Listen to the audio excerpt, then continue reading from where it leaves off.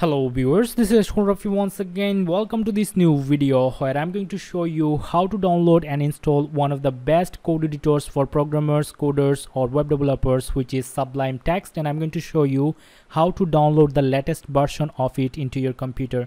So first of all type out Sublime Text into your browser and hit enter and then you will find this website sublimetext.com which is the official website. I'm going to attach the link of this website into the video description for your easy access.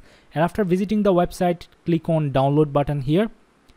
And then you will find few options for systems like ios windows linux okay? So as i'm using windows i'm going to download this one which is windows 64 bit. And if you just notice this one sublime text 3 is the current version of sublime text. So this is the latest one okay? So let's click on windows 64 bit downloads for my computer and then i'm going to click on save. And it is going to be downloaded in, into my computer.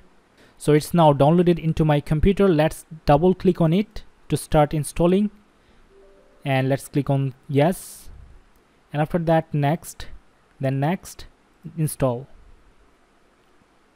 And it's time to click on finish. So finally we have got sublime text into our computer. It's time to open this tool from here. Type out sublime and you're going to find this tool. As you can see sublime text. Let's click on it.